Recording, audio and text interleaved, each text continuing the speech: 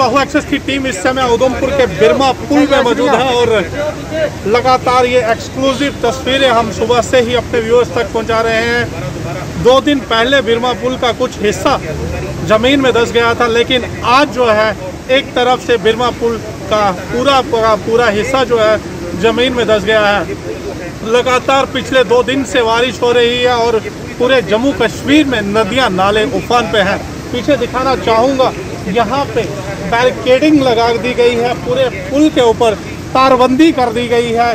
किसी भी व्यक्ति को पुल से गुजरने से इजाज़त नहीं दी जा रही है। आपको बता दें कि दो दिन पहले VRO की तरफ़ से रिपेयरिंग का काम भी यहाँ पे लगाया गया था, लेकिन टू व्हीलर्स को इस पुल से गुजरने की इजाज़त दी जा रही थी। लेकिन अब एक तरफ़ से पुल जो है पूरी तरह से क्षतिग्रस्त हो गया है। अब इस पुल से पैदल भी किसी को गुजरने की इजाज़त नहीं दी जा रही है।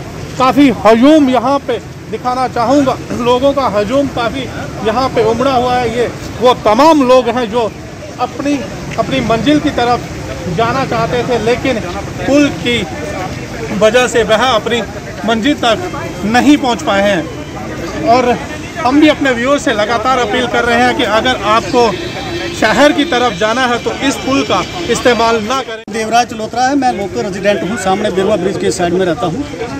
मैं अभी ये शॉक हो गया सुन के कि बिरवा ब्रिज आज फिर गिर गया।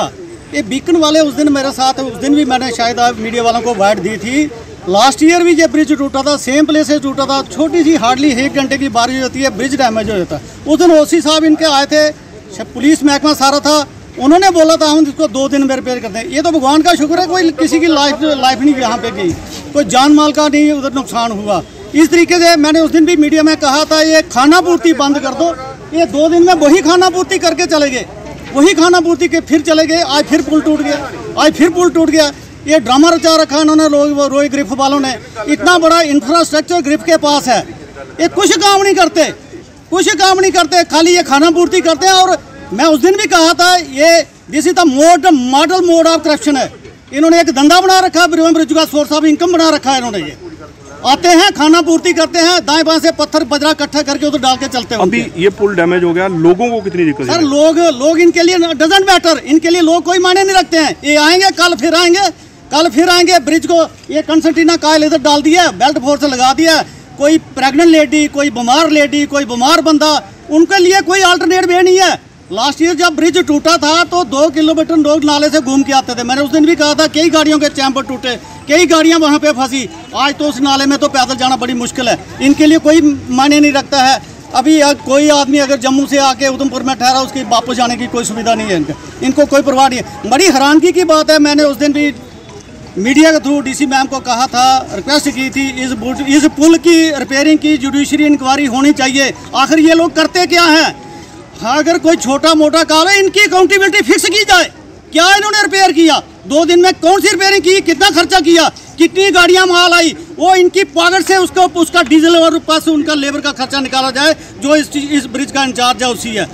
क्या काम किया उसने? लास्ट ईयर ब्रिज उसने रिपेयर किया।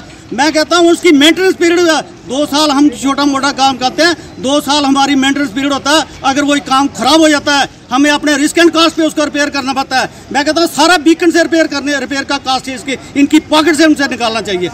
इनकी कोई जिम्मेवारी नहीं है। इस तरह से दिक्कतें जो है वो लोगों को आ रही हैं? जी मेरा नाम संजीव सिंह है। ये आपने देखा होगा लास्ट ईयर भी ये पुल टूटा था। और सेम प्लेस से टूटा था। और एक दो महीने तक गाड़ियाँ इस नाले से जाती रही जिसमें कई गाड़ियाँ टूटी कई लोगों के कई लोगों को लगी। उसके बावजूद अभी दो दिन पहले ये फिर पुल टूटा। इन्होंने रिपेयर किया और इसको दोबारा इन्होंने स्टार्ट कर दिया। ये तो कोई किस्मत अच्छी रही।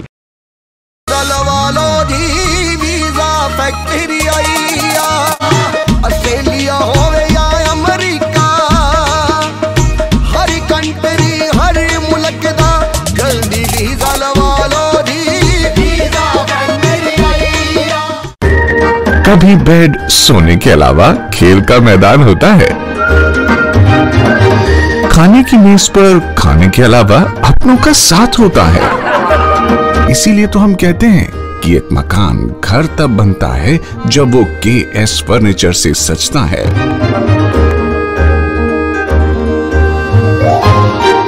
रिश्तों की मिठास का एहसास के एस फर्नीचर के साथ।